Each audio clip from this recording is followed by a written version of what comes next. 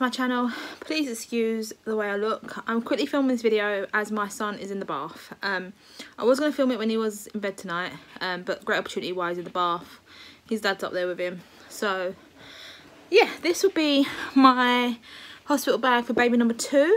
Um, I'm being induced on the 22nd of August 2019, depending on when you're watching this I guess. Um, and I'm really excited.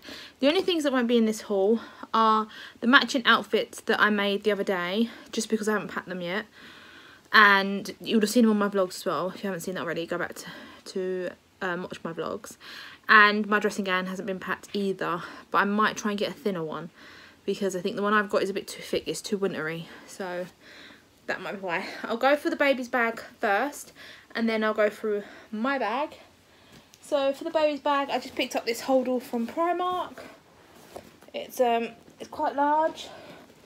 Um, I'll show you what's inside. So let's open that. Right, so first thing I'll pull out is a blanket. So this was actually bought for Mikey when he was a baby. Um, and I believe it was from Primark actually.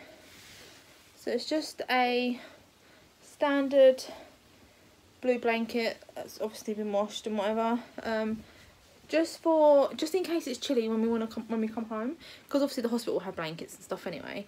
But I thought it'd be nice to um, pack my own blanket for the baby um, as I said just in case and whatever. Also we'll be taking a car seat and a car seat blanket that my sister I believe it's crocheted it's actually in the box over there um, so he will have a car seat blanket for the way home um, which was also Mikey's. So um, that also won't be in the haul because, I mean, I could show you, but literally I just sat down and I've really hurt my pelvis. So I'm not going to do that, I'm really sorry. Anyway, um, I also packed, I got this bag in the baby box bag. So I packed this, but I've just put 10 first size nappies in it. Um, and I'm just taking 10, well I think they're not first size, I think they're number ones.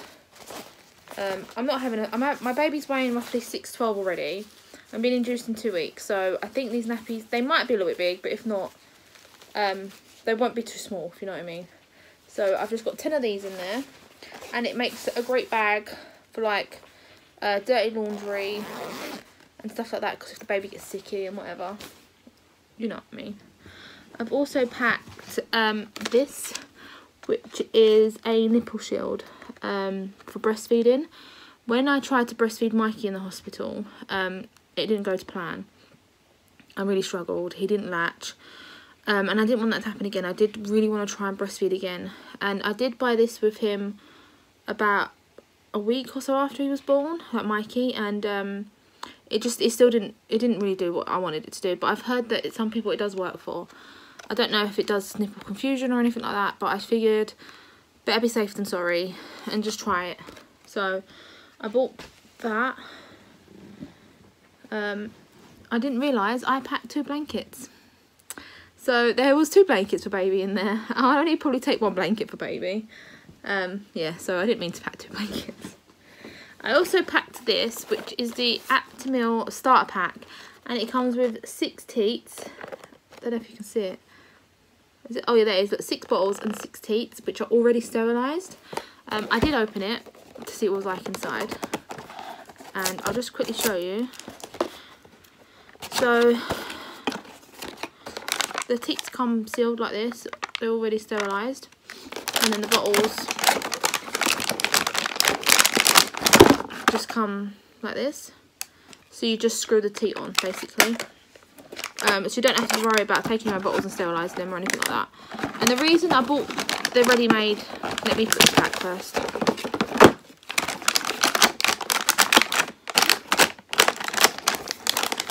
Probably won't even need all six, to be honest, because babies don't drink a lot at first. The reason I bought formula with me is just in case the breastfeeding doesn't go to plan um, or I decide I actually don't want to be breastfeeding like maybe he, he does latch fine and I don't enjoy it because I don't know how long I'm going to be in the hospital for anyway so I wanted to make sure I had that just in case and um, I don't have to worry about it if you know what I mean if not then um, I mean, it's all sealed. I don't know if I could gift it to somebody else. Obviously, you couldn't like resell it or anything like that because it's baby formula. So, but um, I also packed. I believe I packed three of these. Yeah, I did. I packed three muslin cloths. Um, just in case baby gets sicky really. I remember the first night with Mikey in the hospital, we, had, we stayed overnight because he was born in the evening. And he um he actually woke up choking kind of and he was choking on the mucus um which I didn't know newborns got. So when the nurse came out or the midwife came out, she said, oh it's just a bit mucusy where he's just been born. And I was thinking, well, why didn't you, why didn't no one like say that could happen? Do you know what I mean? Maybe they didn't know, but I was a bit annoyed because I was I panicked and like I didn't know what to do. You know, first time mum, so um, I packed that. Right, now I've packed this, which was the first thing Mikey ever wore. So it's this sleep suit and it's zero to three months. Now, my baby is currently weighing smaller than Mikey was and he's going to be born two weeks before Mikey was. So I don't think it's going to fit him. So I'm debating whether or not I should just take it out and put something smaller in. Um, but I, I packed that because I wanted it to be the first thing that he ever wore like Mikey did. But then maybe I should change it. Let me know what your opinion on that is because I thought it'd be really sweet. But maybe I should make it more original for himself, if you know what I mean. Um, and maybe save this because you can make those keepsake teddy bears and I could save this for like one of those or something as it was the first thing that ever went on his body um, other than the vest but I can't remember what vest it was and it was done up so I don't know what vest it was I also packed a little cardigan for coming home I just got this little blue one. There was another blue one I was going to pack as well. Um, but I suppose I only need one, don't I? So, yeah. Um, this was made by my sister. So, I actually don't know what size it is. I think it's 0 to 3. It does look quite big. But I just thought that it's not going to be that cold when we leave. It's going to be like the end of August. So, I don't think I'm going to have to wrap him up too much, if you know what I mean. Um, I also packed just some regular wipes. Um, with Mikey, I just used cotton cotton wool and water. Um, but his bum was never sensitive. Like his skin was never has never been sensitive. And there's nothing to say this baby's skin might be sensitive, but I've never had sensitive skin. I don't think Mike's really ever had sensitive skin. This just came in one of those freebie pack things. So I was like, um, I would use any wipes. I just thought I'm just going to try and use wipes. I don't if obviously if the baby's bum gets too red and whatever, then I'll just go straight to water. I also will be taking water wipes with me that ain't been packed. They're just up there, I've just remembered. Um, so water wipes will I will use. But um, maybe I'll just take the water wipes and not these actually. Because if I take the water wipes, I can use them for me and the baby for the first couple of um, days until like baby's skin isn't as fresh, if that makes sense. So yeah, maybe I'll just do that. I'll take water wipes. I'll take these out. Um, we're planning together. And then the last things, couple of things, are just like the clothes. So I'll show you them, like the clothes, quickly. Um, and the things that are in this little, so in the side pocket in the inside, I just kept the small things, which were two hats, because they need to wear a hat for the first 24 hours to help their their body temperature. Some scratch mittens, because their fingernails are sharp. I'm surprised we don't get scratched up on the inside, honestly, when they come out they're sharp. Um, I have another hat here. I don't know why there's three hats in total. Maybe I should love this hat. I don't know. Um, but when Mikey put the first hat on that he had, it had a bit of blood on it, so we had to change the hat. That's why it's good to take spares, if you know what I mean, just in case. Um, I've got this newborn vest. This was actually Mikey's, um, which might actually be the perfect size for him. And then I've got a couple of zero to three month ones. I don't really have any smaller vests than that, um, smaller than zero to three months, so he's just going to have to wear a really big vest. I don't see the point of buying new ones if he's just going to grow grab them, to be completely honest. Again, just, so there's three zero to three ones and one newborn, which is probably the first one he can wear because he'll be tiny, won't he? And then I just got a couple of sleep suits. These came in a pack and they're up to one month, which is really handy. And Mike's sisters bought them. So they come in a pack of three. That's the first one. So then this is the second one. Um, and this is the third one. Newborns only need to sleep in these up to three months. You do not need any other type of clothes. Like you don't need jeans, you don't need doggy bottoms, you don't need t-shirts. You need these. These are the most comfortable things for a baby. Um, I mean, if you're gonna go out for the day and you want to show your baby the your family the baby for the first time, yeah, okay, you might want to dress him up a little bit or her up a little bit. Um, I love it when little girls have the vests with the little tutus. I think they're so cute. Um, but like in everyday life, trust me, you just need a body a body grow suit thing, whatever they're called, sleep suit thing, and some vests. So I've got three of each size, plus the newborn vest, because I just think the other ones are going to be huge anyway. Um, and some hats, mittens, and then obviously I might have to change this one. I don't know though. I might just take it anyway, just in case Mikey cat not Mikey, just in case Bert can wear it. Bert is his nickname. His real name's not going to be Bert. Just to let you know.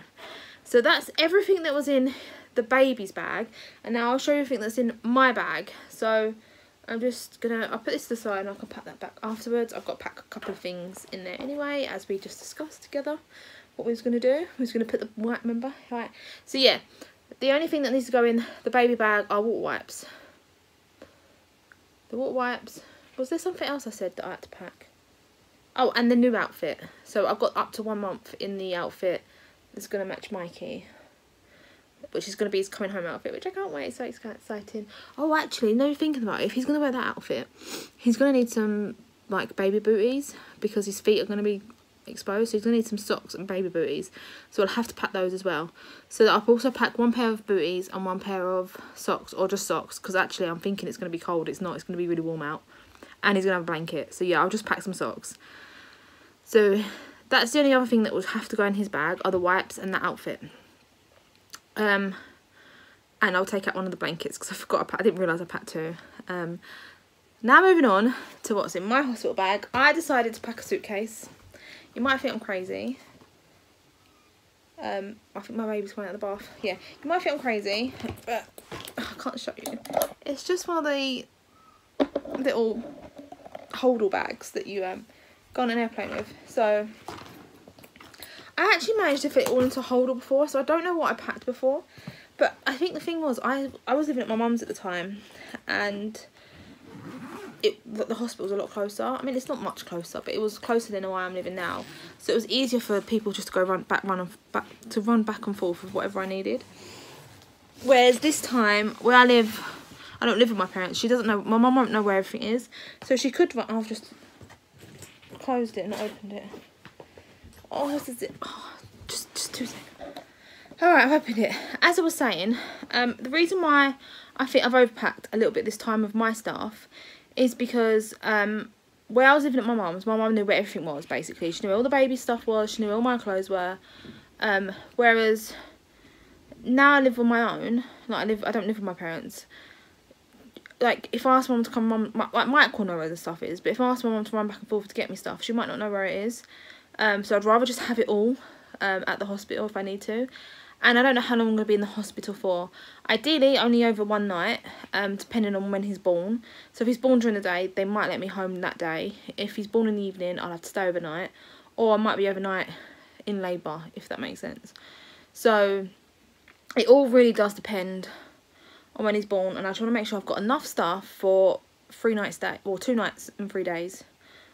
I think or I might have even packed for three nights but um anyway moving on. I've just randomly got on top a maternity bra. So it's actually a nursing bra so it's one of the this is from Primark. Primark maternity range. This is one of the ones that unclip you know when you to make it easier. You don't need bras like this. You can just pull your bra down or just not wear a bra. Um but as it was quite cheap, I decided to buy a pack of two. So I just packed one of those. I've packed some socks. So I got some fuzzy socks. I actually got these for my birthday, I believe, um, from my mum. And I've saved them because like these are going in my hospital bag. Um, so I haven't worn them yet. And they're going to say, yeah, I've saved them for the hospital basically. And then my mum bought, oh, I do have socks for the baby. I remember now. My mum bought me this um, on Mother's Day. This is mummy and baby and oh, it's really cute. She left the price on, silly, silly bean. Um, but no, it's really cute. Actually, it might have been for my birthday, not Mother's Day. I can't remember. But yeah, she bought me this and um, I absolutely love it. So we'll be wearing matching socks home. I should try and get Mikey some like matching socks or something. I don't know. But yeah, me and the baby will be wearing matching socks home. Um, so he will have socks. I just need to make sure he's got booties or something. So at least he's got socks sorted. Least I won't actually be getting that. Um, and then I've got um, a pack of underwear. I just bought new underwear. I just thought they're the full briefs because I want to be comfortable. I'm going to be bleeding a lot. So I'm going to have to wear them big pads. Um, so yeah, I just bought these from Asda. And I've left them in the packet for now. Um, I bought some maternity pads because I'm going to need these. I've only bought one pack for now because to be honest, I don't know how often I'm going to use them and how many I'm going to need. And I don't want to buy too many and then like not need them, if you know what I mean. And they're so cheap. So um, I'm just going to buy them when I need them. I'll get my mum or Mike to run out and get some when I need them. If I can't go out myself, you know. Um, I also packed this bag. I bought some Primark. I had no use for it. And I made a use for it. So I've just put my toiletries in it, basically. Um, I bought all new stuff. Um, I bought this shower puff because I'm going to want to shower after I give birth. I remember after I had Mikey, I felt so grub like grimy and sweaty from like all the pushing and stuff. It was just horrible. I just felt really gross. So I know I'm going to want to like shower down and probably wash my hair. Um, I bought a bag to put my dirty laundry in. It's just a tote bag.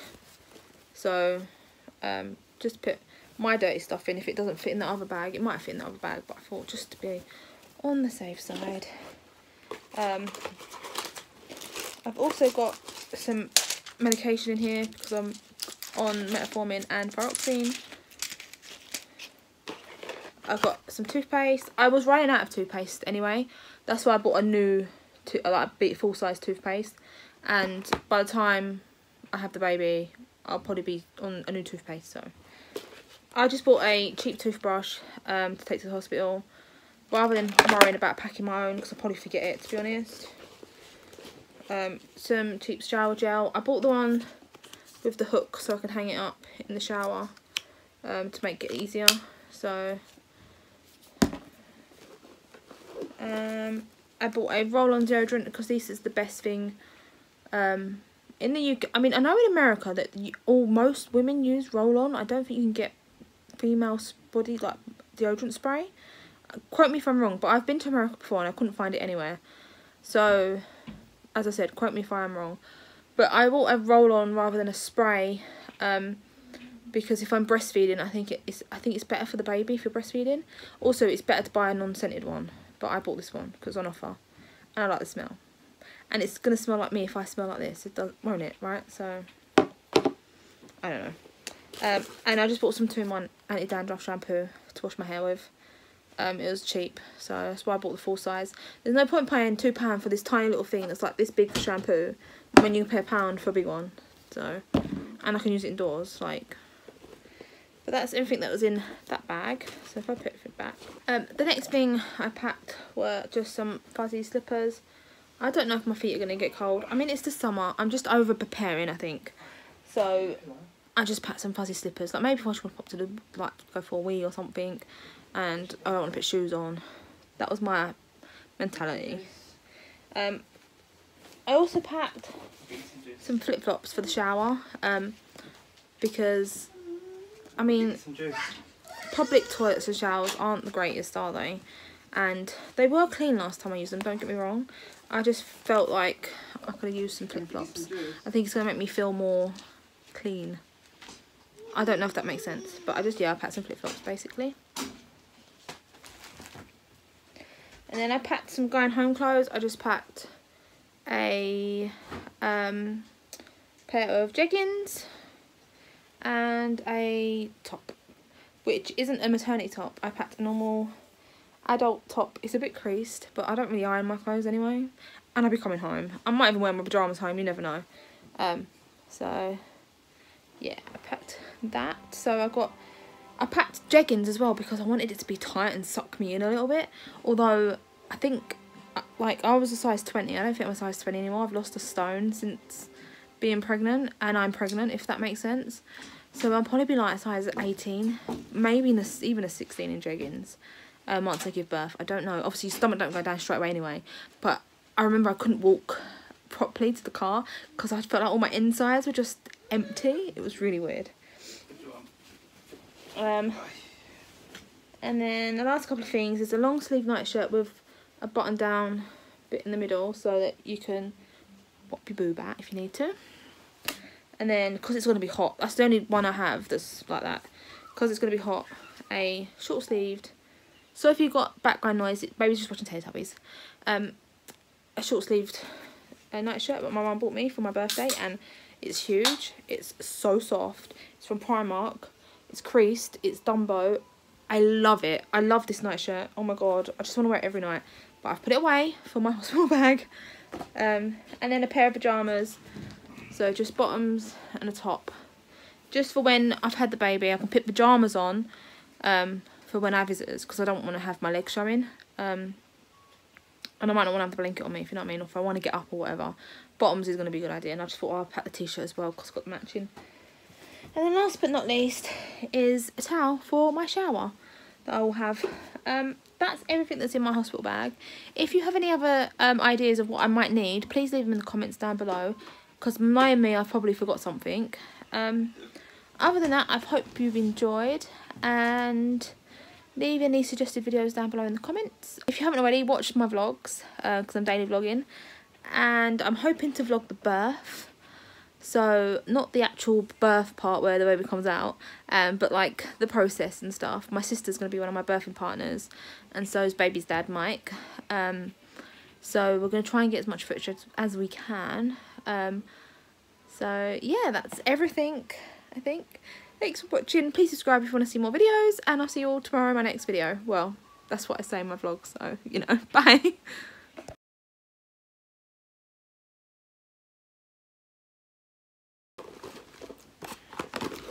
my child's out of the bath, so be prepared for the whole thing to crash. As in, he's going to knock it down. Mike, you get him? He wants to be on camera with you. No, he wants to steal the camera.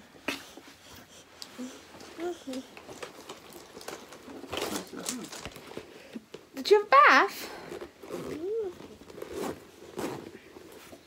Oh, who's that? Can't have it. No, you can't have it. No, no. You can't have it.